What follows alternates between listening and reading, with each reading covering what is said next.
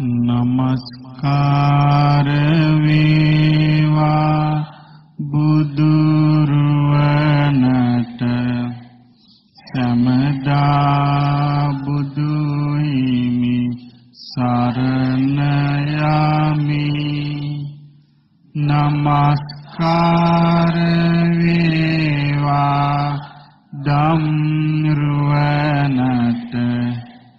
සමදා සදකම් සරණ යමි නමස්කාර වේවා සංගරුවනට සමදා මහා සංඝ සරණ යමි නමස්කාර වේවා තුනුරුවනට සමදා කිසරණ සරණ යමි. සාදු.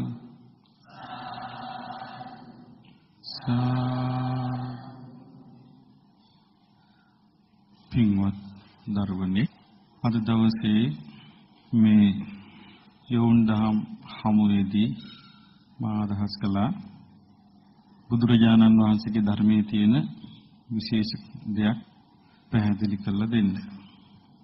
අපි දන්නවා දැන් මේ බුදුරජාණන් වහන්සේගේ ජීවිතය ගත්තොත් උන්වහන්සේ ගිහි ජීවිතේ අත්හරින්න හේතු වුණේ මහලු මිනිස්සු දැකීමත් රෝගියෙක් දැකලා ඒ වගේම මරණය දැකලා මේක තමයි ජීවිතයේ තියෙන ප්‍රශ්නේ කියලා හිතට වැදුනා. ඊට පස්සේ ඒකට උත්තර හොයාගෙන තමයි උන්වහන්සේගේ ජීවිතේ අත්හැරියේ. ඉතින් උන්වහන්සේට මේ මාර්ගයක් විසඳුමක් කියා දෙන්න කෙනෙක් ඒ වෙද්දී ලෝකෙ හිටියේ නැහැ. අන්තිමට උන්වහන්සේ කල්පනා කළා තමන් තනියම මේකට විසඳුමක් සොයා ගන්න ඕනේ කියලා. ඒ තනියම විසඳුමක් හොයාගන්න ගිහින් තමයි උන්වහන්සේ අනිත් අන්තයට වැටුනේ. මොකක්ද ඒ අන්තේ? ආත්තිකල මුතාන යෝගී අන්තයට වැටුනේ මේකට තනියම විසඳුමක් හොයා ගන්න ගිහින්. අන්තිමේදී උන්වහන්සේට තේරුණා මේ දුක් විඳලා දුක් විඳලා දුක් විඳලා බැලින්නම් විඳිනවා විතරයි දුක් විඳිනවා විතරයි අවබෝධ වෙන දෙයක් නැහැ. ඊට පස්සේ උන්වහන්සේම කල්පනා කළා මේකට වෙන මාර්ගයක් තියෙන්න ඕන කියලා උන්වහන්සේ දුක් විඳින එක අත්හැරිය. එතකොට තමයි උන්වහන්සේට අහුනේ මධ්‍යම ප්‍රතිපදාව. මොකක්ද මේ මධ්‍යම ප්‍රතිපදාව? ආර්ය ශ්‍රාංගික මාර්ගයේ උන්වහන්සේට අහුණා. අහුණා කියන්නේ උන්වහන්සේට ඒක වැටහුණා. උන්වහන්සේට තේරුම් ගියා. ඊට පස්සේ උන්වහන්සේ ඒ මාර්ගී පුරුදු කළා. ඒක හරි විස්මයජනක දෙයක්. ඒ කියන්නේ දැන් තනියම කල්පනා කරලා ඒ විදිහට නෝනෙන් ඉවසලා හොයා ගන්නවා කියලා කියන්නේ ලේසි එකක් නෙවෙයි. ඉතින් උන්වහන්සේ මාර්ගය ගැන විස්තර කරන්නේ ඒ මාර්ගයේ තමයි චක්කුම් උදපාදි ඥානං උදපාදි පඤ්ඤා උදපාදි විද්‍යා උදපාදි ආලෝක උදපාදි කියලා මේ ජීවිතය දිහා ඇත්ත දකින ඇහැ ලැබුණේ ආර්ය අෂ්ටාංගික මාර්ගයෙන් කියන ජීවිතය අවබෝධ කරන ඥාණි ලැබුණේ ආර්ය අෂ්ටාංගික මාර්ගයෙන් කියනවා. ප්‍රඥාව ලැබුණේ ආර්ය අෂ්ටාංගික මාර්ගයෙන්. විද්‍යාව ලැබුණේ ආර්ය අෂ්ටාංගික මාර්ගයෙන් ආලෝකය ලැබුණේ ආර්ය අෂ්ටාංගික මාර්ගයෙන්. එතකොට මේ ආර්ය අෂ්ටාංගික මාර්ගයේ ලෝකේ මිනිස්යාට ඇත්ත දකින ඇහැ ලබා දෙනවා. ඥානෙ ලබා දෙනවා. ඊළඟට ප්‍රඥාව ලබා දෙනවා. විද්‍යාව ලබා දෙනවා. ආලෝකය ලබා දෙනවා. ඒ ලබා දෙන්න මොකෙන්ද? ආර්ය අෂ්ටාංගික මාර්ගය. එතකොට මේ ලෝකේට ඇත්ත දකින්න ඇස් ලබා දෙන මාර්ගය බුදුරජාණන් වහන්සේ තමයි සොයාගත්තේ. ඒතර උන්වහන්සේ සොයාගත්තු මාර්ගය වෙන මාර්ගයක් නැහැ. උන්වහන්සේ සොයාගත්තේ ඒ මාර්ගය. මොකක්ද මේ මාර්ගය? ආර්ය අෂ්ටාංගික මාර්ගය තමයි උන්වහන්සේ සොයාගත්තේ. මේ ආර්ය අෂ්ටාංගික මාර්ගය පටන් ගන්නෙ මොකෙන්ද? සම්මා දිට්ඨිය. ඒ පිළිල කොහොමද යන්නේ? සම්මා දිට්ඨි, සම්මා සංකප්ප, සම්මා වාචා, සම්මා කම්මන්ත, සම්මා ආජීව, සම්මා වායාම, සම්මා සති, සම්මා සමාධි. බුදුරජුන්ගේ ශ්‍රාවකයන් හැටියට අපි මේ කාරණය හොඳින් ඉගෙන ගත යුතුයි. දැන් සාමාන්‍යයෙන් ලෝකේ ශ්‍රාවකයා කියලා කියන්නේ සමන් දෙන කෙනාට. බලන එක්කෙනාට මොකද්ද කියන්නේ අපි? ප්‍රේක්ෂක. දැන් මෙතන ඒ අර්ථ නෙමෙයි ශ්‍රාවක කිව්වේ. ශ්‍රාවක කිව්වේ සරණ ගිය කෙනා. එතකොට අපි බුදුරජාණන් වහන්සේව සරණ යනවා. බුදුරජාණන් වහන්සේව සරණ ගියාම ඒ සරණ ගියේ කවුද කියලා විමසා බලා ඒක හරිවැරද්ද තෝරාගෙන ඉන්න බුද්ධිමත් මිනිසෙක් කරන්නේ. එතකොට අපි බුදුරජාණන් වහන්සේ සරණ ගියාම සරණ ගියේ අපි රාග දේශ මොහ තියෙන කෙනෙක් නෙවෙයි. රාග දේශ මොහ නැති කෙනෙක් ප්‍රහාණය කරපු කෙනෙක් ඉන්ද්‍රිය দমনය කරපු කෙනෙක් නිකලෙස් කෙනෙක් තමයි සරණ ගියේ. එතකොට මේ සරණ යාම ලෝකයේ දේශයෙන් කෙනෙකුට ලැබෙන්නේ නැහැ. ලෝකේ අනිත් ආගම් ගත්තොත් ඒ ආගම් වල ඒ සරණ යන හැමෝම රාග දේශ මොහෙන් යුක්තයි. රාග දේශ මොහොය කියන එක ලෝකයේ තුල මිනිස්යාට අර්බුද හදන දෙයක්. දැන් අපි ගත්තොත් දැන් අවුරුදු ගණනාවක් තිස්සේ අපේ රටේ යුද්ධයක් තිබ්බා. මේ යුද්ධයට පාදක වුණේ මිනිස්යන් තුල ඇතිවෙච්ච රාග දේශ මොහ නේද? දැන් අසවල් කොටස අපිට ඕනේ කියලා ඒ කෙරෙහි රාගය ඇති වුණා. ඒක තව කෙනෙක් අල්ලන් කියලා මිත්‍යා දෘෂ්ටියක් අහලා ද්වේෂය හටගත්තා. මේ ප්‍රතිඵලය මොකද්ද? විශාල මානසික ඝාතන සිද්ධ වුණා. එතකොට රාග ද්වේෂ මෝහ වලින් යුක්තව ලෝකෙට කෙනෙක් නායකත්වයක් දෙන්න ගියොත් ඒ තුල විශාල හානිය ඇතිවීම වළක්වන්න බෑ. වළක්වන්න බෑ. බුදුරජාණන් වහන්සේ රාග දේශ මොහ නැති කෙනෙක්. උන්වහන්සේගේ නායකත්වය තුල ලෝකේ අනිත් අයත් රාග දේශ මොහ වලින් නිදහස් වුණා මිසක් රාග දේශ මොහ වලින් හානි වුණේ නැහැ. එතකොට ඒ උන්වහන්සේගේ නායකත්වයේ රාග දේශ මොහ නැති විතරාගී විත දෝෂී විත මොහි නායකත්වයක්. උන්වහන්සේගේ මාර්ගෝපදේශකත්වය කෙලෙස් නැසූ කෙනෙක් කෙලෙස් උපද්දින දෙයක් කියා දෙයිද? නෑ. විරාගී කෙනෙක් රාගය උපදින දෙයක් කියලා දෙයිද? නෑ. මෝහේ නැති කෙනෙක් මෝහේ හටගන්න දෙයක් කියලා දෙයිද? නෑ. දැන් බුදුරජාණන් වහන්සේගේ ජීවිතය ගත්තොත් උන්වහන්සේ ප්‍රසිද්ධියේ ප්‍රකාශ කළා දෙවි මිනිසුන් අභියස උන්වහන්සේ සම්බුද්ධයි කියලා. උන්වහන්සේට රාග දේශ මොහ නැහැ කියලා. සාමාන්‍ය කෙනෙක් එහෙම ප්‍රකාශ කළාම රාග දේශ මොහ යුක්ත සමාජයට ඒක අභියෝගයක්ද නැද්ද? ඒක අභියෝගයක්. එතකොට රාග දේශ මොහ යුක්ත සමාජයේ හැමතිස්සෙම කැමති විතරාගී කෙනෙක් දකින්නද තමන් වගේම කෙනෙක් දකින්නද? හැමෝම කැමති වෙන්නේ තමන් වගේ අය දකින්න මිසක් තමන්ට වඩා ශ්‍රේෂ්ඨ අය දකින්න නෙමෙයි. මේ නිසා තමන් අතර කවුරු හරි කෙනෙක් කිව්වොත් මේ ඉන්න මනුස්ස සමාජය තුළ විතරාගී කෙනෙක් කියලා අනිත් අය එයාට අභියෝග කරන්නේ නැද්ද? අභියෝග කරනවා. දැන් බුදුරජාණන් වහන්සේට ඒ වගේ තමයි අභියෝග ආවේ.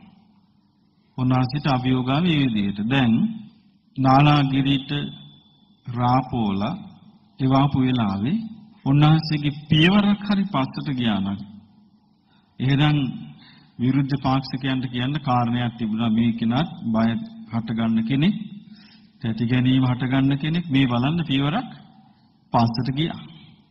උන්වහන්සේගේ අවුරුදු 45ක සම්බුද්ධත්වයේ ලබාගෙන ගත කරපු ජීවිතය තුළ ලෝකෙ කිසි කෙනෙකුට කරුණ සහිතව කියන්න බැරි වුණා උන්වහන්සේ රාග දේශමව වලින් තොර බව ඒක අසත්‍යයක් කියලා.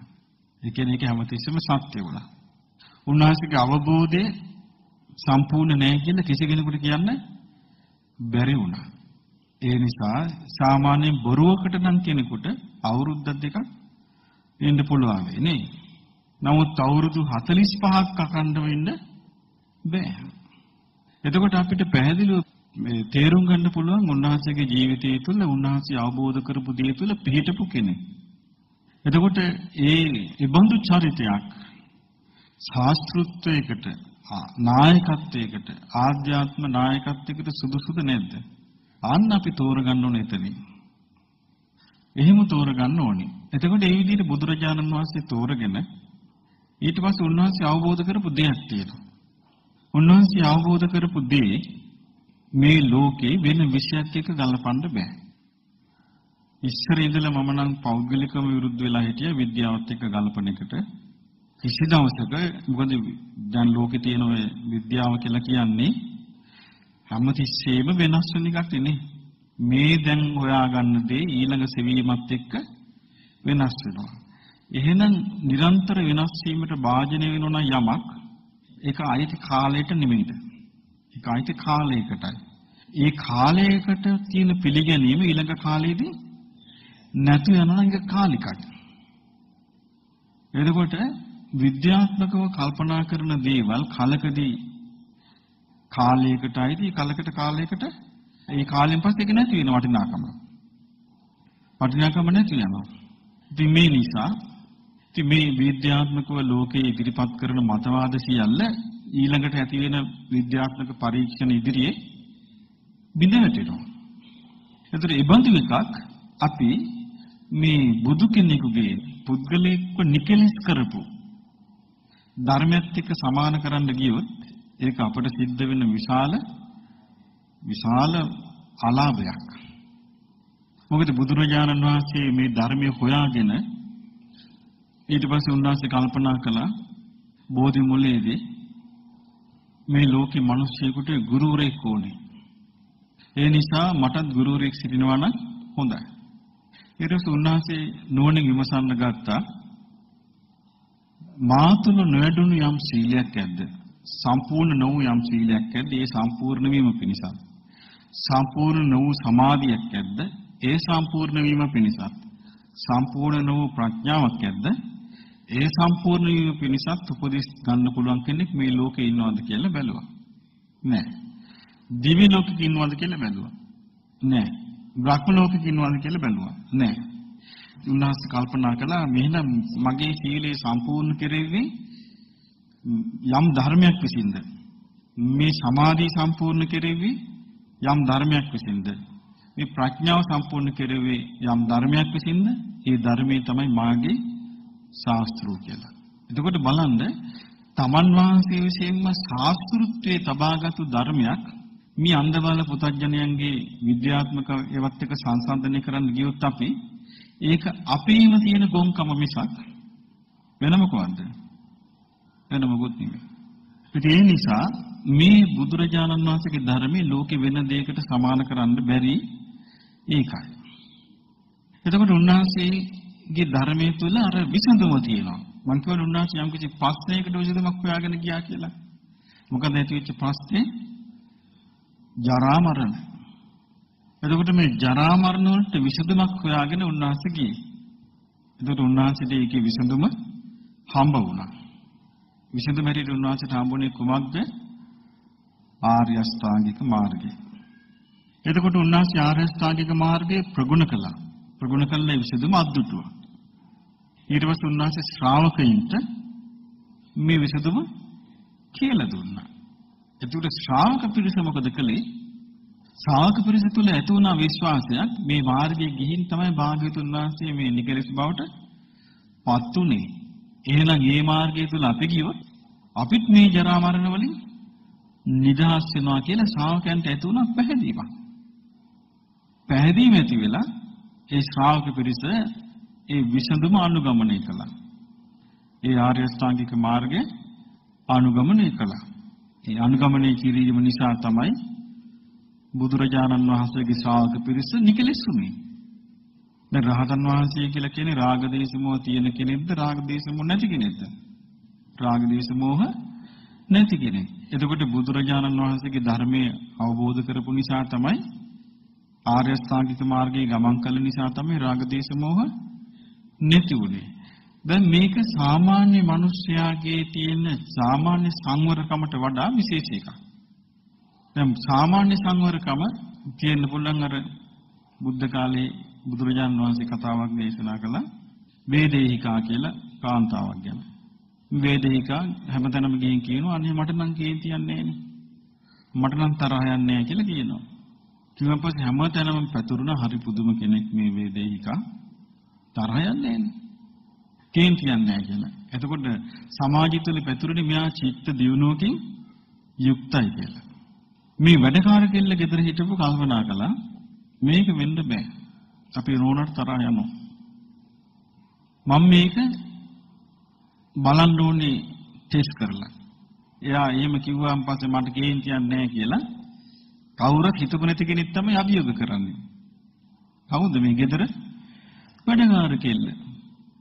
ඒ කෙල්ල මොකද කළේ හිතුවා මම මේ හැමදේම පාන්දරට ඇඟිටලා වැඩ කරනවා අතපොතු ගන්නවා ලම්පිකන් හොදුන අස්පස් කරනවා මෙයාට තරහ යන්නේ නැති ඒකයි. කෙල්ල හොයාගත්ත කාරණේ. ඊට පස්සේ මම බලන්න ඕනේ මේක ඇත්තද බොරුවක්ද මෙයා මේ කියාගෙන යන්නේ. නිදාගත්තා. උදේ නැගිට්ටේ නැහැ. දවල් වෙනකම් බුදියනවා. එතකොට වේදිකා නැගිට්ටා දැන් ඇවිදිනවා ආහට මෙහෙට කෙල්ල නෑ නැගිටලා. කෙල්ල අතු ගන්නෙත් නෑ වතුර උණු කරන්නෙත් නෑ. ඇහුවා කෙල්ලේ මක්ුණාද ඔබට?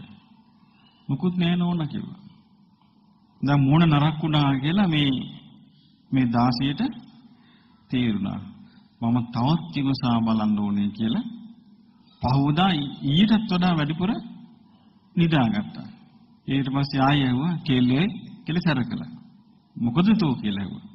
දැනගත්තේ එතකොට තෝමෝ කියනකොට හරි දැන් කියලා. ඊට පස්සේ මුකුත් නෑ නෝනා කිව්වා. දැන් බලන්න බුදුරජාණන් වහන්සේ මේ කතන්දරේ කියන්නේ. වේදහිකාගේ කතාව.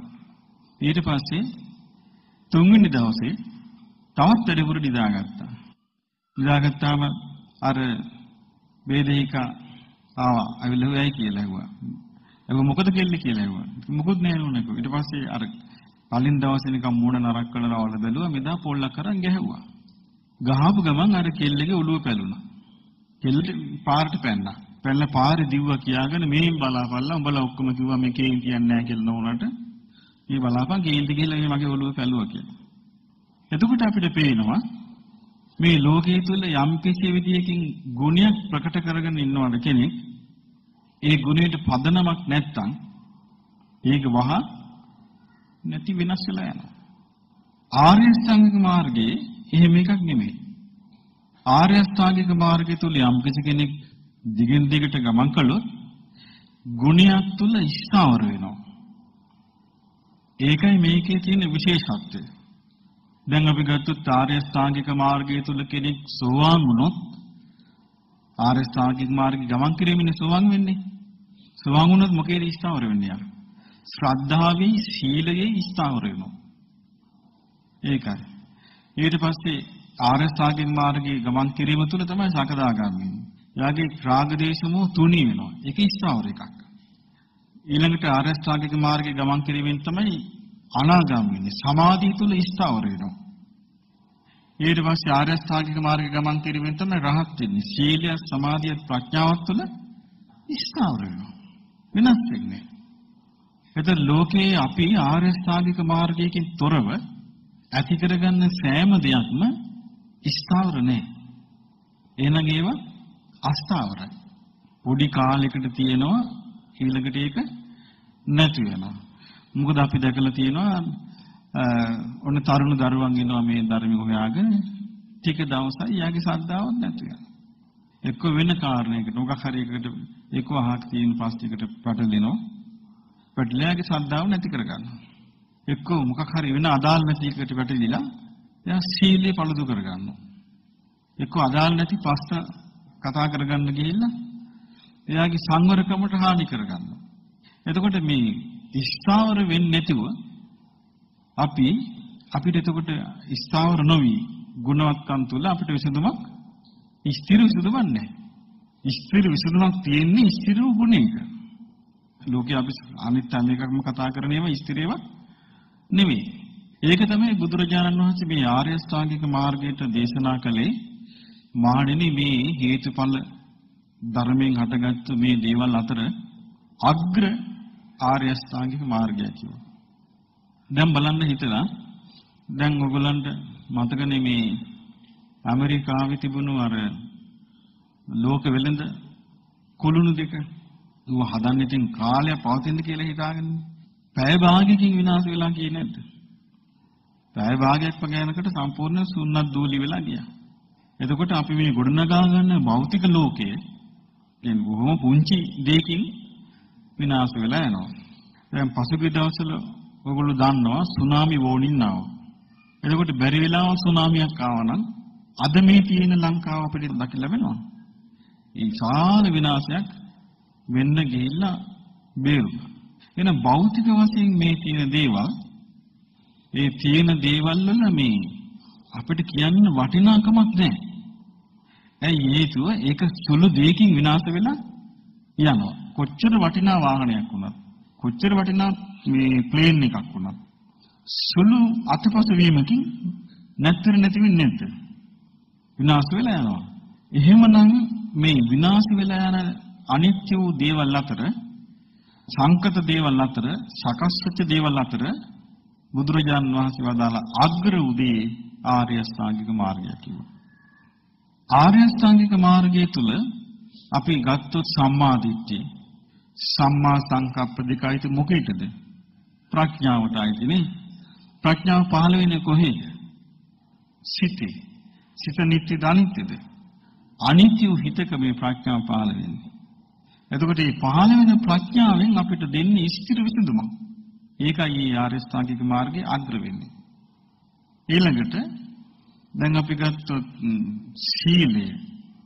ආර්ය ස්ථාංගික මාර්ගය තුල සීලය කිව්වේ මොනවද අංග? සම්මා වාචා, සම්මා කම්මන්ත, සම්මා ආජීව.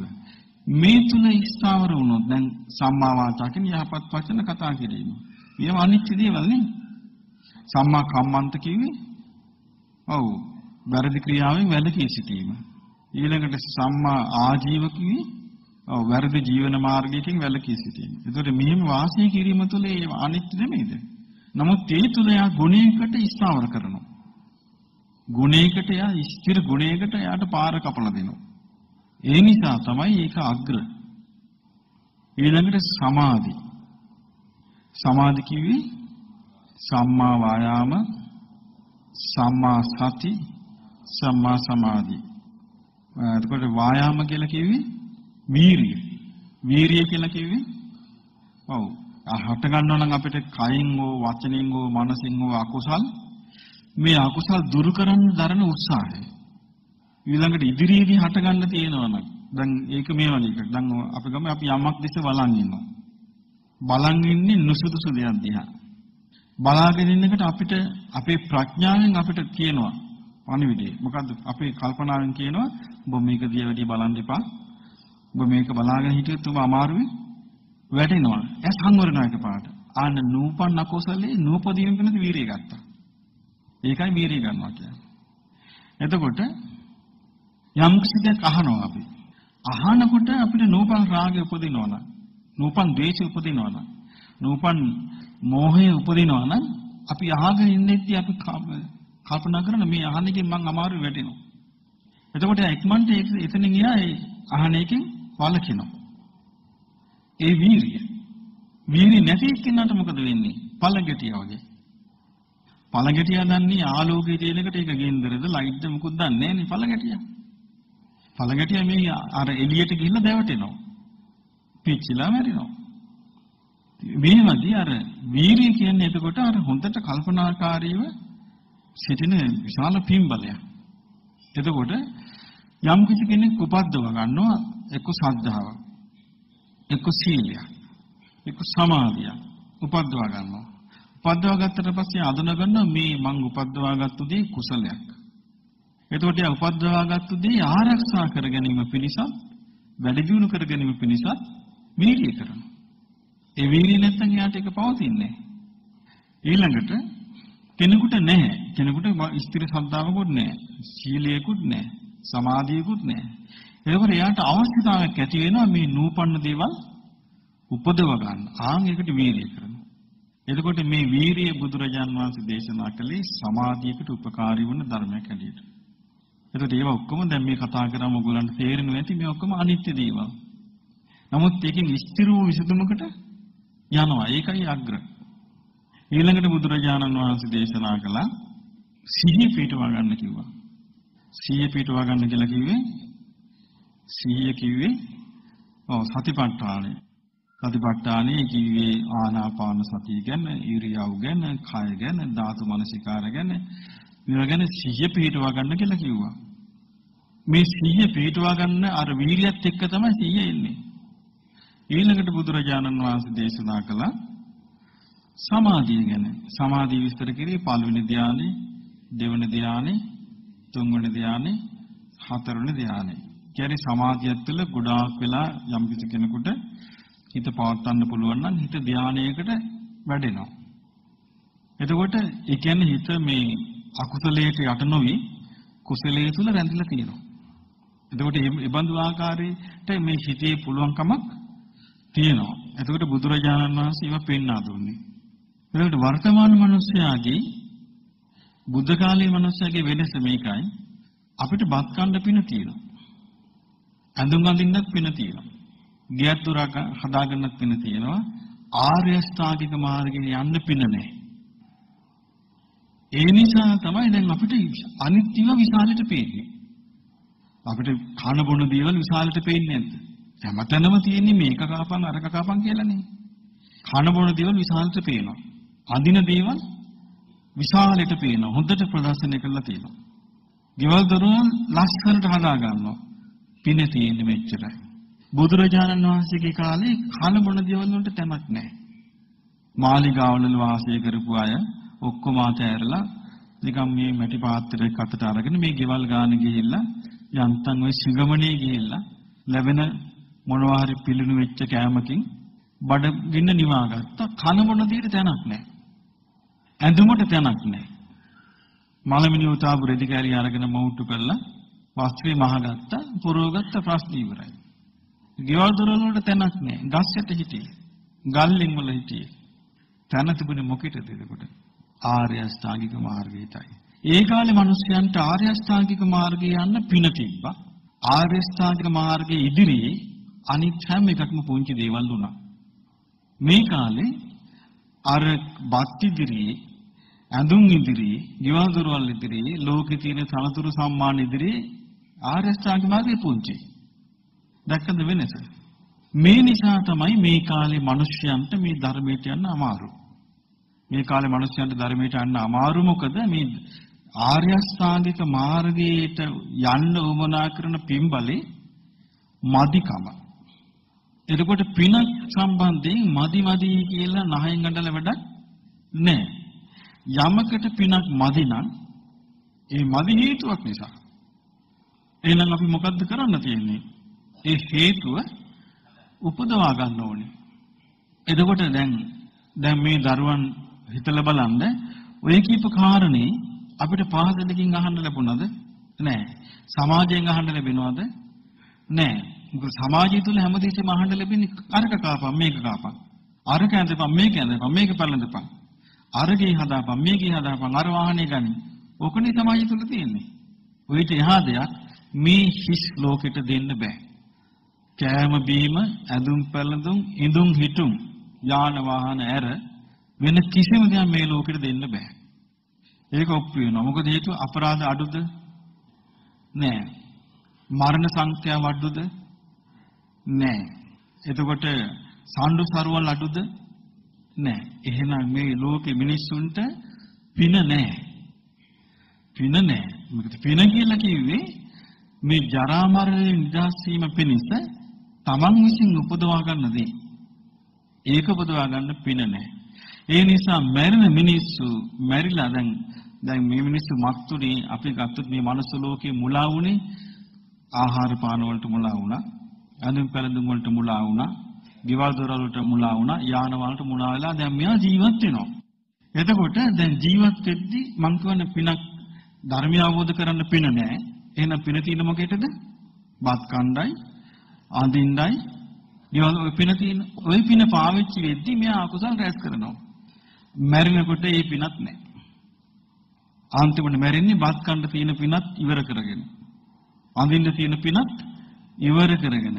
මිනිස්සෙක් වෙලා ඉඳ තියෙන පිනත් ඉවර කරගෙන මැරිලා මල පිරිතෙක් වෙනවා. එක්ක තිරසනෙක් වෙනවා.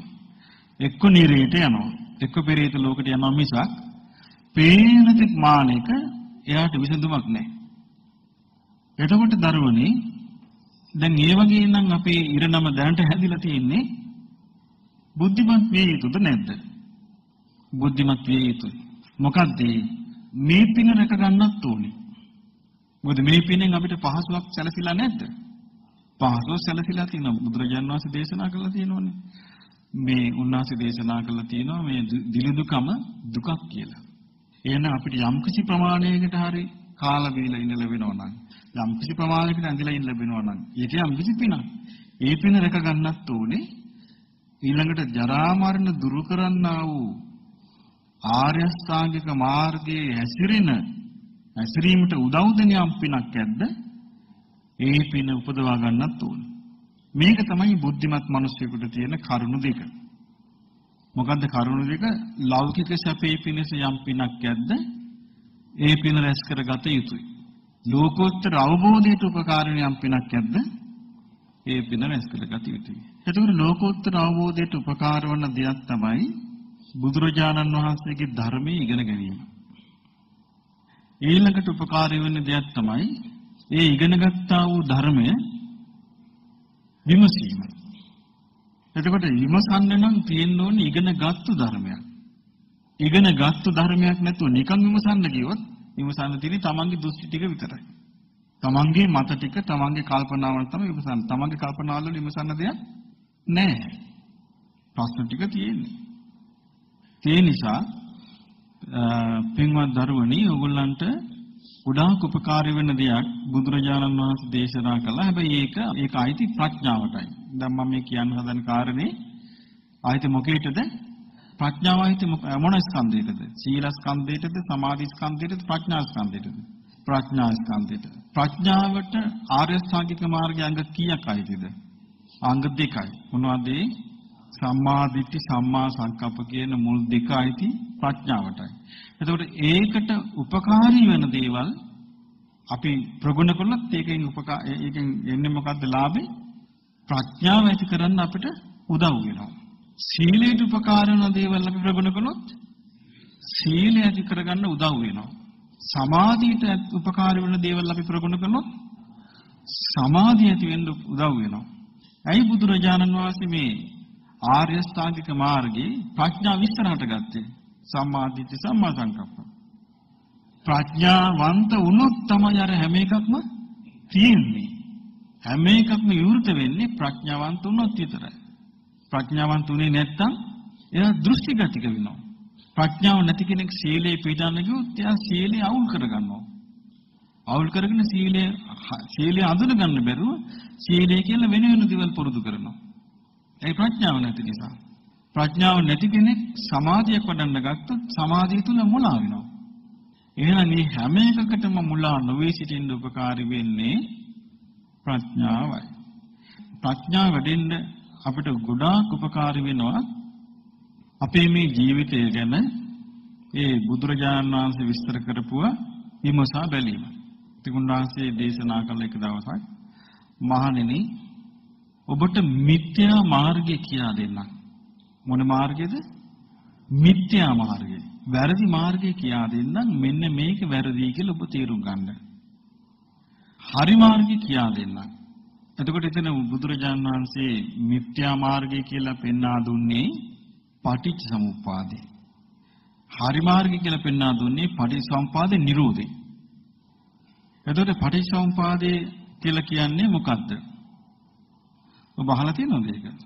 අවිජ්ජා පත්‍ය සංඛාරා සංඛාර පත්‍ය විඥානං විඥාන පත්‍ය නාම රූපං නාම රූප පත්‍ය සලායතනං සලායතන පත්‍ය පස්සෝ පස්ස පත්‍ය වේදනා වේදනා පත්‍ය තණ්හා තණ්හා පත්‍ය උපාදානං උපාදාන පත්‍ය භවෝ භව පත්‍ය ජාති ජාති පත්‍ය ජරා මරණං ශෝක පරිදේව දුක්ඛ දෝමනස් උපායාස සම්භවಂತಿ ඒව මේ තස්ස කේවලස්ස දුක්ඛක්ඛන්දස්ස සමුදයෝ හෝති බුදුරජාණන් වහන්සේ එහෙම දේශනා කළා කියනවා මහණෙනි මේක තමයි මිත්‍යා මාර්ගය කියන්නේ. එතකොට ඒකේ තේරුම සාමාන්‍යයෙන් අපි ඉගෙන ගත්තොත් ඊට පස්සේ උන්වහන්සේ හරි මාර්ගය කියලා දේශනා කරන මහණෙනි අවිද්‍යාව විතරතු නිරුද්ධ වීමෙන් සංස්කාර නිරුද්ධ වේ. සංස්කාර නිරුද්ධ වීමෙන් විඥාන නිරුද්ධ වේ. විඥාන නිරුද්ධ වීමෙන් නාම රූප නිරුද්ධ වේ. නාම රූප නිරුද්ධ වීමෙන් සලආයතන නිරුද්ධ වේ. සලආයතන නිරුද්ධ වීමෙන් ස්පර්ශය නිරුද්ධ වේ. ස්පර්ශය නිරුද්ධ වීමෙන් විදීම නිරුද්ධ ආදී වශයෙන් උන්වහන්සේ කියලා මේ ජරා මරණ දුක් දුම්නස් නිරුද්ධ වෙලා යනවා. ඔබට මතක ඇති උන්වහන්සේ හෙවි ඕක නේද? ජරා මරණ නිරුද්ධ වෙන විදියනේ. ඒතර උන්වහන්සේ ජරාම නිරුද්ධ වීම අහු වුණා. එතකොට දැන් පටිච්ච සමුප්පාදය තුල තියෙන ජරා මරණ හැදෙන විදිය. මොකද්ද පටිච්ච සමුප්පාදය තුල තියෙන්නේ? ජරා මරණ හැදෙන විදිය. එතකොට ජරා මරණ හැදෙන විදිය අල්ල ගන්න ඕනේ. ජරා මරණ නිරුද්ධ වෙන විදියට තෝරගන්න ගන්න. නැත්තම් අපිට දැන් බලන්න ඒක කොච්චරනම් බුද්ධිමත්ද කියලා එක. දැන් අපි ප්‍රශ්නයක් හැදෙන විදිය දන්නේ නැත්තම් ඒ ප්‍රශ්නේ ඇති කරන්න බෑනේ. හැදෙන විදිය දැනගන්න ඕනේ. දැන් අපි ගත්තොත් අසනීපයක් උන අපිට තියෙනවා. මේ අසනීපේ හැදෙන විදිය මෙහෙම මෙහෙම කියලා අපි දැනගන්නවා. ඒ අසනීපේ හැදෙන විදිය දැනගත්තොත් නේද අසනීපෙන් බේරෙන්න පුළුවන්. නැත්තම් බෑනේ බේරෙන්න. ඒ වගේ ජරා මරණ හැදෙන විදිය පටිච්චසමුපාදේ බුදුරජාණන් වහන්සේ විස්තර කරලා දුන්නේ. ඔබ මේ පටිච්චසමුපාදේ පාලියෙනුත් ඉගෙන ගන්න සිංහලෙනුත් ඉගෙන ගන්න මොකද හේතුව දැන් මේ ඉගෙන ගන්න දේවල් මේ කාලේට ප්‍රයෝජන වෙලා පස්සේ අතාරිනවා කියලා එකක් නැහැ. අකාලිකයි. අකාලිකයි කියන්නේ ඔව් මේකට මේ වළංගු කාල පරිච්ඡේදයක් නැහැ. මේක යම් වෙලාවක යම් කෙනෙක් සාකච්ඡා කරනවා බුදුරජාන් වහන්සේ දේශනා කළේ මහණෙනි තථාගතයන් වහන්සේ ඉපදුනක් නැතත් මේ ජරා මරණ තියෙන්නේ ඉපදීම නිසා. තථාගතයන් වහන්සේ කිව්වත් නැතත් ජරා මරණ තියෙන්නේ කුමන් නිසාද? ඉපදීම නිසා කියනවා. දැන් අපි දැන් අපි ඉපදීම නිසානේ මේ ඔක්කොම තියෙන්නේ. දැන් අපිට අපි මේ බුදුරජාණන් වහන්සේගේ ධර්මයේ හිතන දේවල්, උන්වහන්සේ උගන්වපු දේවල් වලට අපිට යන්න බැරි වෙලා තියෙන්නේ. කාලයක් තිස්සේ අපිට පුරුදු කරලා තියෙන්නේ මිත්‍යා මතත් එක්ක ආපු සිරිත් පිරිත්. දැන් අපි ගත්තොත් ඔබ අහලා තියෙනවද දරුවනි? බුදුරජාණන් වහන්සේ දේශනා කළ කොහෙද මහණෙනි අද මගේ උපන්දිනේ. කොහෙද තියෙනවද නෑ. මහණනි බලන්න මං ඉපදුනෙත් වෙසක් පොයේ. මං බුදුනුත්ම සප්පොයේ එහෙම කියලා තියෙනවද? නෑ. උපන්දිනේ සමරනවා නම් ඒක සමරන්න සුදුසුකමකුත් නෙවෙයිද? නමුත් එහෙම සමරන්නේ නෑ. මොකද හේතුව මේ උපන්දිනේ සැමරීම ආවේ මොකෙන්ද? ක්‍රිස්තියානි එතකොට ඒක ආවේ බටහිර සංස්කෘතියෙන් ඉංග්‍රීසියෙන් ආවේ. අද වෙද්දී අපි ජරා මරණ දුකයි කිය කී උපන්දින සමරන්නේ නැද්ද? එතකොට බලන්න ඉපදීම දුකයි කිය කිය ඉපදිච්ච දවසට ආදාපි ඉපදිච්ච දවස. පාටියක් දාමු. එතකොට අපි මේ කල්පනා කරන දේම අපි කතා කරන දේම අපි කියා අපේ ක්‍රියාවට ගැලපෙන්නේ ගැලපෙන්නේ එතකොට මම ඒකෙන් තේරුම් ගත්තේ මේ බලන්න එතකොට මේ ලෝකයේ මිසදිටු මත කොච්චර බලපවත්වනවද මේ ජීවිතවලට? මිසදිටු මත කොච්චර බලපවත්වනවද බුදුරජාණන් වහන්සේගේ එතකොට දැන් මේ මිසදිටු මතයක් සමාජය තුළ බලවත් මුල් බැසගත්තොත් බුදු කෙනෙකුගේ මතයක් යන්න ලේසිද අමාරුද? අමාරුයි. ඇයි ඒක තුළ මොකද්ද කේක් ගෙඩියක් හදාගෙන කන එක?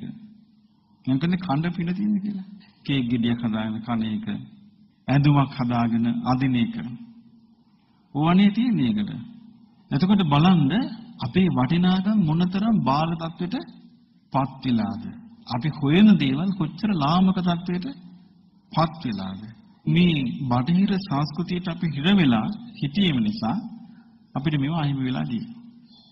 ඒ නිසා බුදුරජාණන් වහන්සේ දේශනා කරනවා මහණෙනි ඉපදීම නිසායි ජරා මරණ.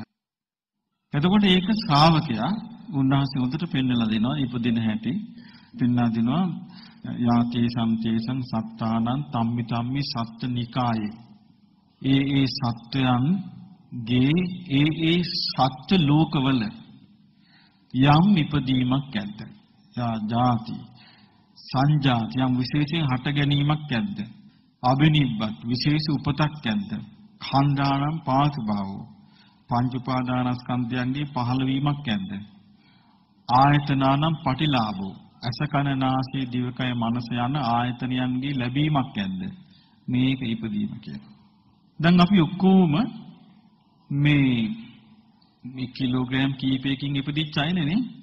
එතකොට ඉපදුනාම අපි අපිට ඉපදිච්ච මොහොතේ තිබුණාද යම්කිසි ඇසක්. යම්කිසි ඇසක් ඇතුව අපි උපන්නාද? යම්කිසි කනක් ඇතුව අපි උපන්නාද? යම් නාසයක් ඇතුව උපන්නාද? යම් දිවක් ඇතුව උපන්නාද? යම් ශරීරයක් ඇතුව උපන්නාද? යම් මනසක් ඇතුව උපන්නාද? මේ දැන් අපි පාවිච්චි කරන එක නේද? දැන් අපි ඉපදීලා මේ පාවිච්චි කරන ඇස කන නාසය දිවකය මනස රෝග පීඩා වලට භාජනය වෙන්නේ නැද්ද? භාජනය වෙනවා. වයසට යෑමට භාජනය වෙන්නේ නැද්ද? භාජනය වෙනවා. මරණයට භාජනය වෙන්නේ නැද්ද? භාජනය වෙනවා. නමුත් අපිට ඉපදිච්ච එක ගැන අපිට අවබෝධයක් නැති නිසා අපි මේක මම කියලා දැඩිව පිටාගෙන නැද්ද? මගේ කියලා දැඩිව පිටාගෙන නැද්ද? පිටාගෙන සිටිනවා. එතකොට මේක තමයි අපේ අර්බුදය. එතකොට මේ අර්බුදේ විසඳ ගන්න තියෙන විසඳුම තමයි බුදුරජාණන් වහන්සේ පෙන්වා දීපු ආර්ය ශ්‍රාංගික මාර්ගය. එතකොට ආර්ය ශ්‍රාංගික මාර්ගයේ සම්මා දිට්ඨියට අයිති කොටස තමයි අපි මේ කතා කරන්නේ. එතකොට බුදුරජාණන් වහන්සේ පෙන්වා දෙනවා ඉපදුනාම තමයි ජරා මරණ වලට භාජනය වෙන්නේ. ජරා මරණ වලට භාජනය දැන් දැන් ඔබ දන්නේ නැති මේ මැරෙනවා කියන එක මිනිස්සු මැරෙන විදිහ අපිට හිතා ගන්න බෑ. ඊළඟට ලෝකේ ලুকু කුමන්ත්‍රණ මේ වෙද්දී මේ කවුද මේ එංගලන්ත මහරජුණගේ ස්වාමියා මේ ළඟදී කියලා තියෙනවා වාර්තාකාරයන්ට මට ආයේ උපදීමක් තියෙනවා නම් මම කැමති වෛරස් එකක් වෙලා උපදින්න මේ ජනගහනය විනාශ කරන්න. දැන් බලන්න මේ කල්පනාවල හැටි. ඊළඟට ලෝකේ සැලැස්මක් යනවා 90ක් ජනගහනය මරන්න. එතකොට ඒක අර NWO කියලා සංවිධානයක් තමයි ඒක සැලසුම් කරලා තියෙන්නේ. එතකොට මේ නියම ඕඩර් කියලා. ඒකෙන් තමයි මේක කරන්න සංවිධානය කරලා තියෙන්නේ. ඒගොල්ලෝ කියනවා ලේසිම ක්‍රමී තමයි වෛරස් එකක් යවන එක. කියලා ඒගොල්ලෝ ඔය මේ ජීව විද්‍යාත්මක ආයුධ දැන් හදාගෙන හංගගෙන තියාගෙන ඉන්නවා ප්‍රශ්නයක් ආපු ගමන් ගහලා එකපාර ලෝකේ ජනගහනය නැති කරන්න ටික දිනෙකට ඒගොල්ලෝ ලෝක ජනගහනය සීමා කරන්න හදන මේ ඔක්කොටම කන්න මදි කියලා මේ කෑම. එතකොට බලන්න මේ විදිහේ මේ විදිහේ ලෝකයකටනේ අපි ඉපදී ඉපදී ඉපදී ඉපදී යන්න තියෙන්නේ. දැන් අපි මනුස්ස ලෝකෙ නෙමෙයි. දැන් අපි ගමු සත්‍ය වෙලා ඉපදිච්ච අයට තියෙනවද සැනසෙල්ලක්? හරක් වෙලා ඉපදිච්ච අයට කුකුළු වෙලා ඉපදිච්ච අයට මාළු වෙලා ඉපදිච්ච අයට සනසිල්ලක් නැහැනේ. අනිත් සතුන්ට සනසිල්ලක් තියෙනවා. අපි ගම මේ ටික සතු ආහාරය ගන්න නිසා කියලා. එහෙම නැති සතුන්ට සනසිල්ලක් තියෙනවද? ඒත් නැහැ. එතකොට මේ ඉපදීම නිසා තමයි මේ ජරා මරණ වලට සත්වයා මූණ දෙන්නේ. එතකොට මේ බුදුරජාණන් වහන්සේගේ ධර්මයේ තුල ප්‍රඥාව උපදවා ගන්න ආසෙක් කෙනා මේක හොඳට නුවණින් විමසන්න ඕනේ මේ ලෝකෙ ඉපදෙන්න තියෙන තැන් ඉපදින තියෙන ලෝක බුදුරජාණන් වහන්සේ පෙන්වා දෙනවා හතර ආකාරයකට උපදිනවා කියලා. විතරස්යෙන් උපදිනවා කියනවා. ඒකට කියන්නේ අණ්ඩජ. අණ්ඩ කියන්නේ බිත්තරේ. අණ්ඩජ කියන්නේ බිත්තරයෙන්. අණ්ඩජ බිත්තරයෙන් උපදිනවා. ජලාභුජ ජලාභුජ කියලා කියන්නේ ගර්භාෂයේ උපදීම. දැන් අපි ඔක්කොම ඉපදුනේ ජලාභුජකට. ඒ සංසීදජ සංසීදජ කියන්නේ තෙත් පරිසරයෙන් ඉපදීම. ඒ පරිසරණුත් සමහරු සමහර සත්‍යයන් උපදිනවා. ඕපපාතික. අර තුනින්තරවත් සමහර සත්‍යයන් උපදිනවා. දැන් මේකෙන් අපි අපිට තේරුම් ගන්න තියෙන්නේ දැන් බුද්ධ දේශනාවේ සඳහන් වෙන ඇතැම් මිනිස්සු පව ඕපාතික උපදිනවා කියලා. එතකොට බලන්න දැන් අපේ ජීවිතේ සකස් වෙලා තියෙන්නේ දැන් ওই පටිච්ච සමුප්පාදේ හොඳට තේරුම් ගියාම අපට තේරුම් යයි මේ පටිච්ච සමුප්පාදේ තමයි අපේ ජීවිතේ තියෙන්නේ. එතකොට පටිච්චසමුප්පාදේ තියනවා කියලා කියන්නේ ජරා මරණ සහිත ජීවිතයක් ආයායමත් ලැබෙන්න පාර. ඒකටයි බුදුරජාන් වහන්සේ මිත්‍යා මාර්ගය කිව්වේ. එතකොට පටිච්ච සමුප්පාදයේ සකස් වෙලා යන එක තුල ආර්ය අෂ්ටාංගික මාර්ගයට ඉඩක් නැහැ. එතන සම්පූර්ණ තියෙන අවිද්‍යාසගත වැඩපිළිවෙල. ආර්ය අෂ්ටාංගික මාර්ගයේ ඒ පුද්ගලයා වීරියෙන් යුක්තව ආර්ය අෂ්ටාංගික මාර්ගය උපදවා ගත්තොත් පරිසම්පාද නිරුද්ධ වෙනවා. පරිසම්පාද නිරුද්ධ වුණා කියන්නේ අර දුකක් කරා යන්න තියෙන දේ ආතුලින් නැති වෙලා යනවා. එතකොට බලන්න මේ දරුවනේ කොයිතරම් විශ්විත දෙයක්ද බුදුරජාණන් වහන්සේ දේශනා කරලා තියෙන්නේ. එතකොට ඒක නුවණින් මෙනෙහි කරන්න ඕනේ. දැන් එහෙමනම් ඔබට තේරුම් ගන්න පුළුවන් වේවි අපිට මේ ධර්ම මාර්ගයේ යන්න යම්කිසි නුවණක් අවශ්‍යයි. අපිට යම්කිසි කල්පනා කිරීමේ හැකියාවක් අවශ්‍යයි.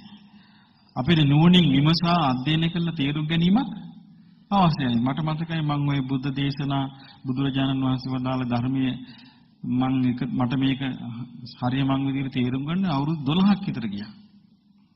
එච්චරට අපිට පින නැහැ.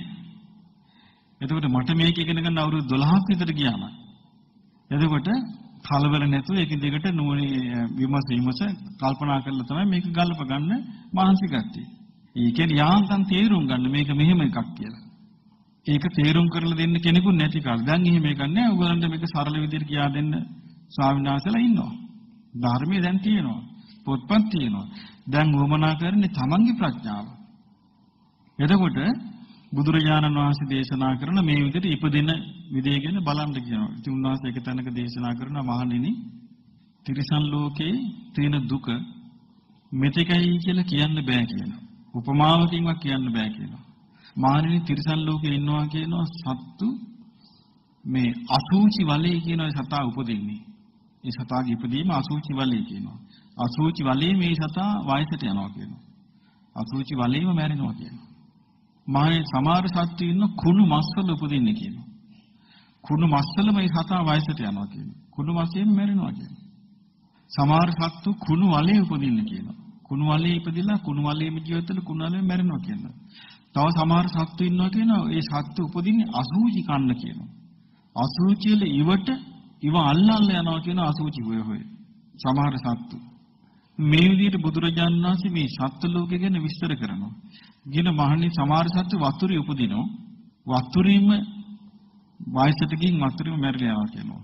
සමහර සත්තු කරෝලේ උපදිනවා කියන පොළව ආස්ති ගඩවිල්ල වෙලා. පොළව ආස්ති ඉපදිලා පොළව ආස්තිම වයසට ගින් පොළව ආස්තිම මැරිලා යනවා කියනවා.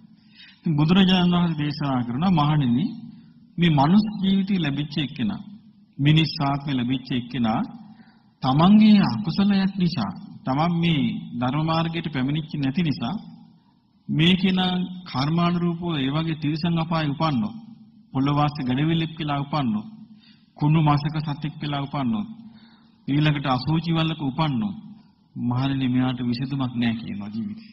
ඇයි යමක් තේරුම් බේරුම් කරගන්න පුළුවන් විදිහට ජීවිතය ආයේ කවදා හැදෙයිද කියලා කවුද දන්නේ? දන්නේ නැහැ අපි. එතකොට යමක් තේරුම් බේරුම් කරගන්න පුළුවන් විදිහට ජීවිතේ හැදෙන්නේ කෙනෙකුට කලාතුරකින්. එහෙම හැදිලා දැන් අපි ගමු ලෝකේ විශාල ජනගහනයක් ඉන්නවානේ. නමුත් මේ ලෝකේ සියලු දෙනා අපිට මෝඩයි කියන්න පුළුවන්ද? බෑනේ. නමුත් සියලු දෙනා ප්‍රඥාවන්තයි කියන්න පුළුවන්ද? ඒත් බෑනේ.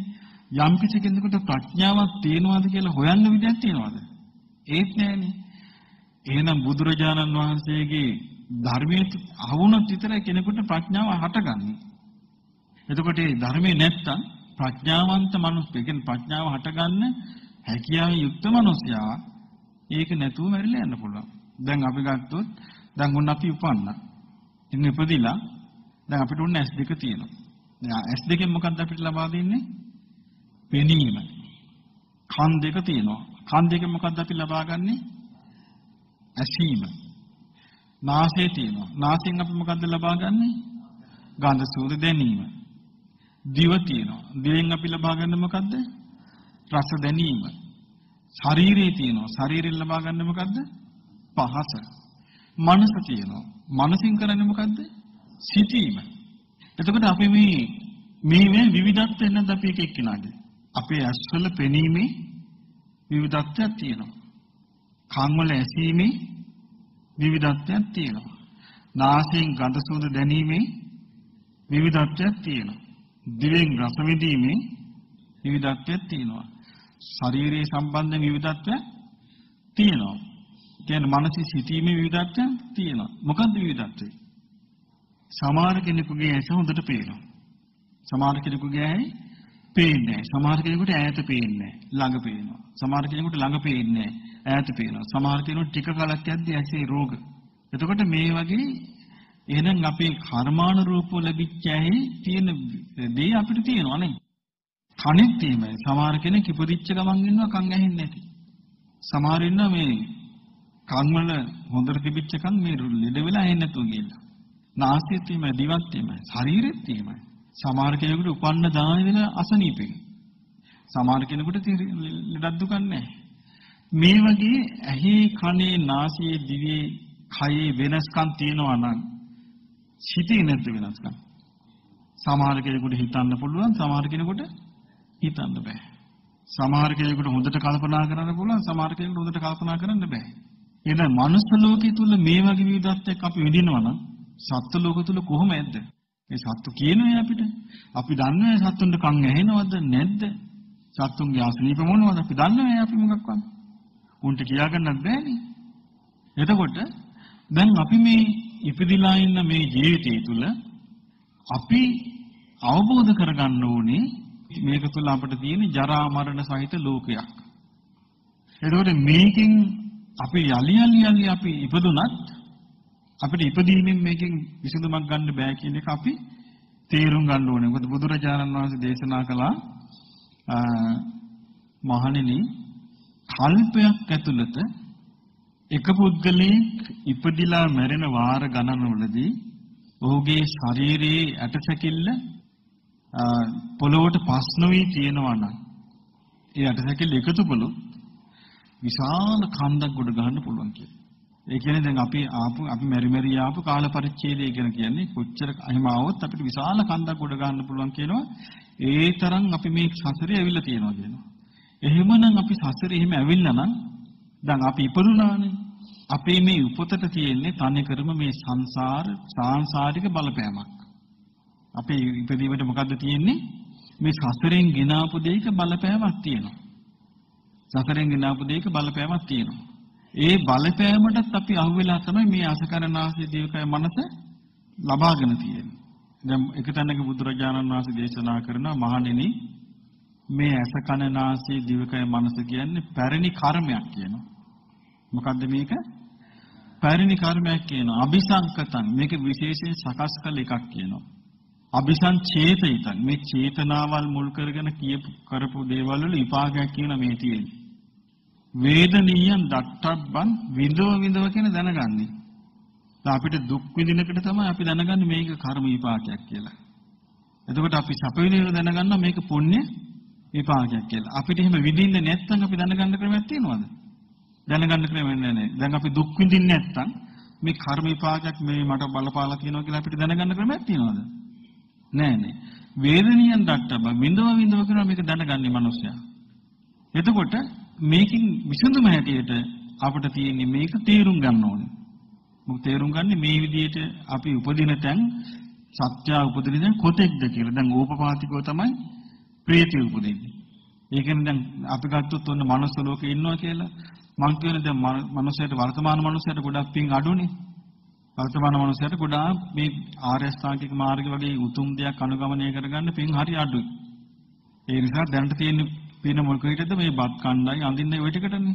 මේ තියෙන පිනත් එයාට ඉවර වෙලා ගියොත් එයාගේ ක්‍රියාවෙන් ඔන්න මැරෙනවා.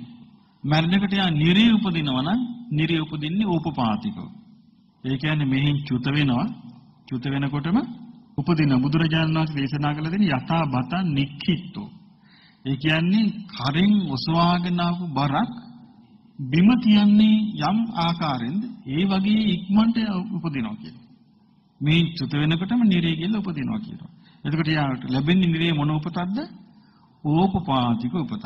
යා ඊට පස්සේ ඒ ඕපපාතික උපදීමෙන් තමයි යා ජීවත් වෙන්නේ.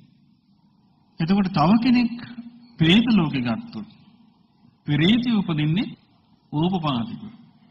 සමහරට පෙරේතය උපදිනවා සමහර පෙරේතියන්ගේ දරුවෝ වෙලා. එතකොට අර මහ පෙරේති අර පොඩි එක්කිනාට දරුවා හැටියට සැලකන්නේ. එතකොට මොකද කරන්නේ? මේ දරුවා දැන් අර එක දේශනාවක තියෙනනේ බොරුවට දිවුරලා ඒ ඒක අම්ම කෙනෙක් මේ තව කෙනෙකුගේ දරු ගැබක් හැලෙන්න බෙහෙත් දෙනවා. බෙහෙත් දීලා ඒ කාන්තාවගේ දරු ගැබ හැලෙනවා. හැලුණාට පස්සේ මේ ගෙදර කට්ටිය අඬ ගහලා මේ අර කාන්තාව අල්ලගෙන ආනෝ නුඹ වැඩක් නේද මේක ඇත්ත කියාපිය කියලා කියනවා. අනේ මම නම් මේක කළේ නෑ කියනවා. එතකොට යා මනුස්ස ඝාතනයක් කළා. ඒ මම නම් මේක කළේ නෑ කියනවා.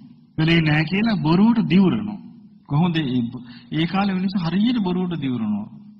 අනේ මම නම් මේක කළේ නෑ මම මේක කළා නම් මං උපුපන් ආත්මවල දරුවන් වදලා කණේ කියක් වෙන්න ඕන කියනවා.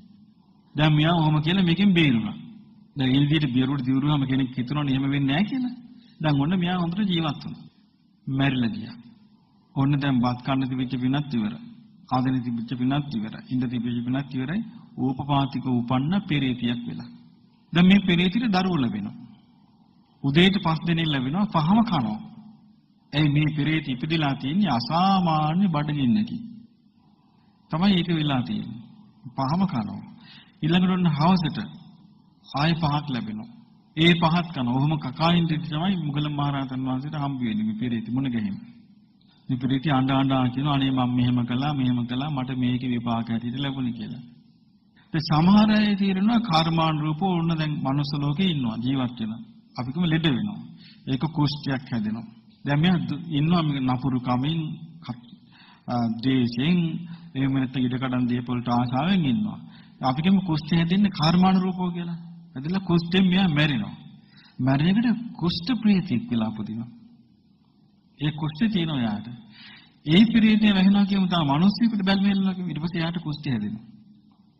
එහෙම සිද්ධි මට අර හාමුදුර කෙනෙක් කිව්වා හරියට හම්බුණා කියලා හාමුදුරන්ට සමහර පිළිකා රෝගී පිළිකාවෙන් ඉඳලා මනුස්ස ලෝකේ පින විර වෙලා පිළිකාවෙන් මැරිලා පිළිකා සහිත මේ පෙරේතේ.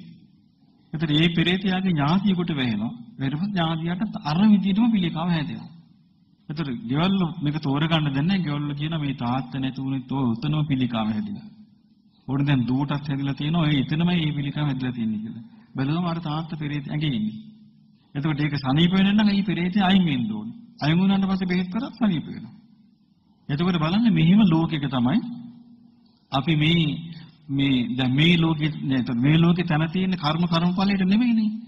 බත් වලට, ඇඳුම් වලට, ඊළඟට ගෙවල් දොරවල් වලට, මේ කන බොන දේවල් වලට මේ තන තියෙන්නේ. කර්ම කර්මඵලයට තන නැති වෙච්ච ගමන් මේ මිනිස්සුන්ට මේක වටහා ගන්න ක්‍රමයක් නැහැ.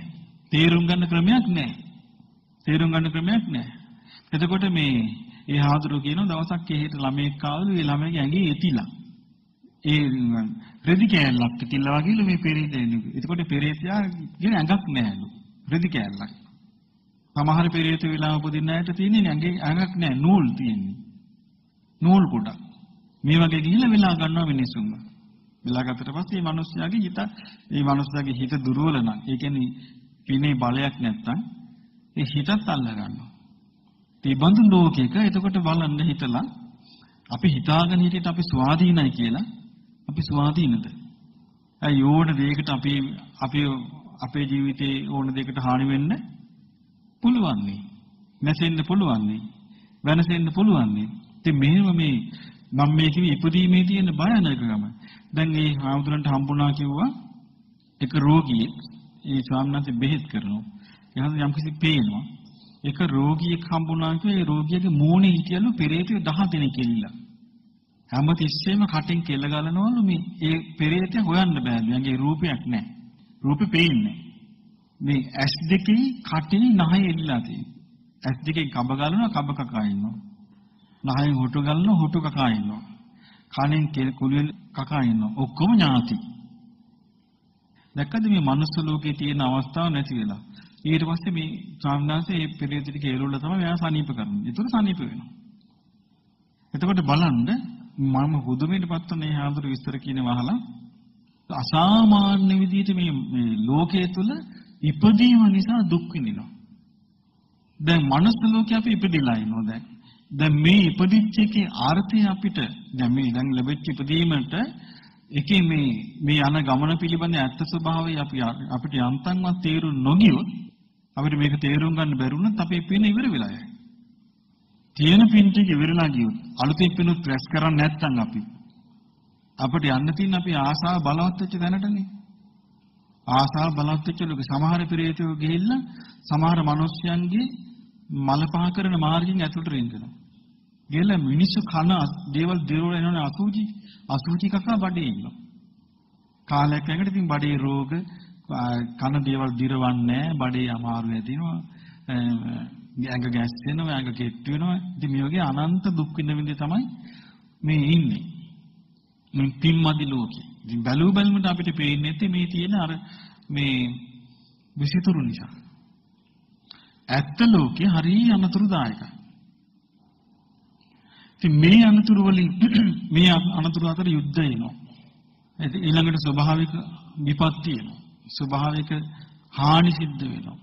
ඊළඟට මේ ලෙඩ රෝග ඇති වෙනවා. ඒවෙන් හානි සිද්ධ වෙනවා. මේ ඔක්කොම මැද්දෙන් තමයි අපි හැමතිස්සෙම සැප විඳීමේ ආසාවෙන් ඊළඟට ලස්සනට ජීවත් වීමේ ආසාවෙන් ඊළඟට අපි වෙනම සීන ලෝකික වෙනම මවාගත්තු සැපක් විඳවිඳ මේ අපි මේ යන්නේ මවාගත්තු මේ වින්දනයක් හොය හොය අපි මේ යන්නේ නමුත් ඒ අතරේ බුදුරජාණන් වහන්සේ ඒකයි අපිට එක්තරා අවස්ථාවක පෙන්වා දෙනවා මහණෙනි මේ විඥානය මායාකාරයක් වගේ කියන මායාකාරී හතරමං හන්දියේ ඉඳලා මිනිස්සුන්ට මායා දක්වනවා ඒ හැම එකක්ම පෙන්නන එක බොරු කියන. හැබැයි බලාගෙන ඉන්න කෙනාට පේන්නෙම ඇත්ත වගේ කියනවා. දැන් හිතේ හටගන්න හැම මායාවක්ම අපිට පේන්නේ ඇත්ත වගේනේ. අපි ඒක නීවෙන් එතකොට අපි ඇත්ත වගේ පෙන්නේ අපි ඒක ඇත්ත ලෝකේ ගන්න නෙමෙයි දුවන්නේ. එතකොට දුවලා දුවලා අපිට අන්තිමට ඒක හම්බ වෙන්නේ නැහැ. අන්තිමට වෙන්නේ මොකද්ද? අපි යම්කිසි ආයුෂ ප්‍රමාණයකින් මනස ලෝකයට ආවද දන්නේම නැහැ මේ ආයුෂ ඉවර වෙලා යනවා. දන්නේම නැහැ මේ ජීවත් වෙන යම් කර්ම විපාකයක් පුණ්‍ය කර්මික විපාකයක් තිබ්බද මේක පාවිච්චි වෙලා ඉවර වෙලා යනවා. දන්නේම නැහැ. මේ නිසා අපි පළවෙනිම තේරුම් ගන්න ඕනේ මේ ඉපදීපද යන්න සිද්ධ වීම දුකක් කියලා. එයාට තමයි මේ ධර්ම මාර්ගය විවෘත වෙන්නේ. දැන් ඉපදීපද යන්න සිදීම දුකක්. නමුත් අපිට එකපාරටම මේකෙන් ගැලවෙන්න විදියක් නැහැ. මොකද හේතුව අපේ අපේ එක එක්කෙනාගේ ජීවිතය තුළ පටිච්චසමුප්පාද වැඩ කරනවා. එහෙමනම් අපිට යම්කිසි ආකාරයකට මේ ආධර්මය අවබෝධ කරන්න ඕන තැනකට අපි ආගත්තොත් ඒක තමයි අපිට තියෙන වාසිය තියෙන්නේ. ඉතින් ඒ සඳහාත් අපි යන්න ඕනේ ප්‍රඥා සම්පන්න කෙනෙක් හැටියට. ඉපදීම දුකක් කියන කාරණේ තේරුම් ගනිමින් තමයි අපි ආයෙත් දැන් පටිච්චසමුප්පාදේ අපි මේ තාම එකයි එක කාරණේනේ මේ කතා කරන්නේ. ඉපදීමයි ජරා මරණයි දෙක වෙනනේ මේ කතා කරන්නේ නේ. දැන් සාමාන්‍යයෙන් අපේ ජීවිතය ගත්තොත් අපි ඉපදීමට කොච්චර මේ මේ ලැබිච්ච ජීවිතේ කොච්චර සතුටක් සතුටෙන් ඉන්න ආසා කළා. කොච්චර ලස්සනට ගොඩනගන්න ආසා කළා.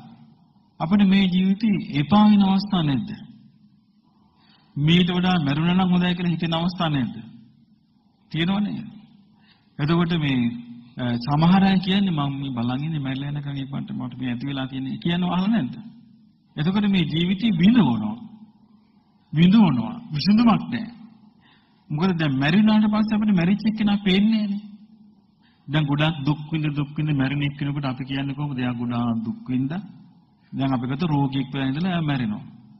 අපි කියන ගොඩාක් දුක් විඳ එයා මැරුණා. දැන් ඉතින් එයාගේ දුක ඉවර දැන් එයා සැනසෙල්ලට කියලා. සමහරට එයා ඒ රෝගින්මයි උපදින්නේ. ඒ රෝගේ සහිතමයි පෙරේතය වෙලා උපදින්නේ. දුක් විඳ දුක් විඳ ඉන්න කෙනෙක් මැරිලා ඒකේ නිදහස් වෙනවා නම් එයා ආර්ය ශ්‍රාගික මාර්ගයට එක්ක ආපු කෙනෙක්. එක්ක ආර්ය ශ්‍රාගික මාර්ගයේ ගමන් කරමින් සිටි කෙනෙක්. එක්ක ගමන් කරපු කෙනෙක්. වෙන කිසි කෙනෙකුට මේ යම් දුකක් වින්දා එයාගේ දුක දැන් ඉවරයි කියලා කියන්න බෑ කටක් කරලා. අපි දන්නේ අරකනම් අපි බුද්ධ දේශනාදිය බලමු අපිට 100ක් කියන්න පුළුවන්. යම් කිසි කෙනෙක් කාර්ය අෂ්ටාංගික මාර්ගය තුල සෝවාන් වුණා නම් සෝවාන් වෙච්ච කෙනා අපි කියමු කුෂ්ඨ රෝගයකින් මොකක් හරි දෙයකින් දුක් විඳ විඳ හිටියා කියලා. එයාට කටක් කරලා අපිට කියන්න පුළුවන් මෙයා ධර්ම මාර්ගයේ ගමන් කළා. මෙයා ධර්ම මාර්ගය තුල හිටියා. මෙයාගේ දුක ඉවරයි මේ මනුස්ස ලෝකේ. අපු දැන් එයා හොඳ තැනක ඇති කියලා. එහෙම නැති කෙනෙකුට කියන්න බෑ අපිට. එහෙම නැති කෙනෙක් සමහරට තව කී වතාවක් ඒ විදිහටම උපදීද කියලා කියන්නේ දන්නේ නැහැ කියන්නේ. කී වතාවක් සමහරට සමහර කර්ම විපාක විපාක දෙනවා 500 වතාවක්. එක කර්මයේ කරාම ඒක විපාක 500 වතාව දෙනවා. ඒ වගේ අර පස්සෙන් පන්න පන්න පන්න එන. ඒකනේ බුදුරජාණන් වහන්සේ ළඟට අර පිස්සියක් වගේ දුවගෙන ආවම පටාචාරා බුදුරජාණන් වහන්සේ වදාළ පටාචාරා ඕක තමයි කියන සසරේ හැටි. ඔබ මේ ගෙවාපු මේ ඉපදී ඉපදී මෙරි මෙරි ආපු ගමනේදී ඔබ හෙළුව කඳුළු මහා සාගර ජලයට වඩා වැඩි කියනවා. දැන් අපිට හොයාගන්න බෑනේ ඒක එම දීර්ඝ එකක් කියලා.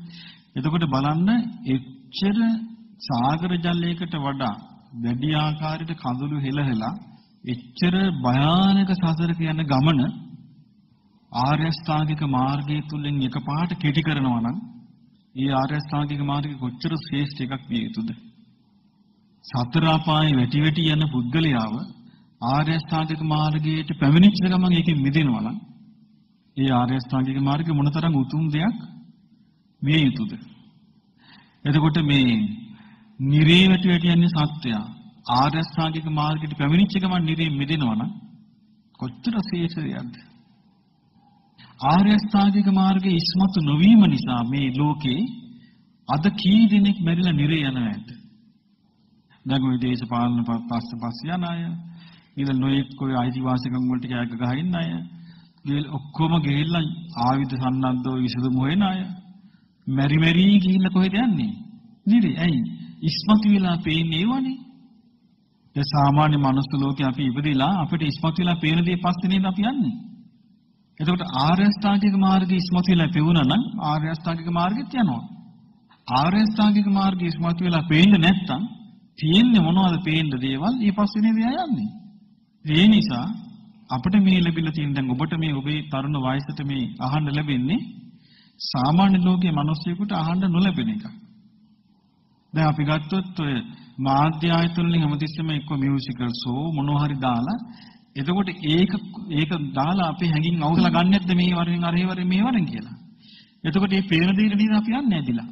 ආර්ය අෂ්ටාංගික මාර්ගය ඉස්මතු කළා මේ වරෙන් කියලා කියන්න කවුරුත් නැහැ. ඉතින් එතකොට තේරුම් ගන්න මේ ධර්මයේ කොච්චර ලෝකේ නැද්ද කියලා. අතුරුදහම්ද කියලා. ඉතින් ඒ බඳු ලෝකික තමයි අපිට මේ ආර්ය අෂ්ටාංගික මාර්ගයේ සුළුවෙන් හරි අහන්න ලැබෙන්නේ. එතකොට දරුවනේ ඔබ දිගින් දිගටම මේවට සම්බන්ධ වෙලා ටිකෙන් ටික මේ ජීවිතේ තේරුම් ගන්න ටිකෙන් ටික බණ භාවනාවල් ටික ටික සම්බන්ධ කරගන්න මේ ඔක්කොම චිත්ත කය වචනය කියන තුන්දොර හරහා තමයි අපිට කරන්න තියෙන්නේ වෙන එකක් නෑ මේක කරන්න. එතකොට එහෙම කළා ඔබට ආර්ය අෂ්ටාංගික මාර්ගයට පැමිණිලා පටිච්ච සමුප්පාදයේ හැදෙන මේ ලෝකෙන් අත්මිදින්ද පටිච්ච සමුප්පාද නිරෝධය මේ ගෞතම බුද්ධ ශාසනය තුලම අත්දකින්න ඔබට වාසනාව ලැබේවා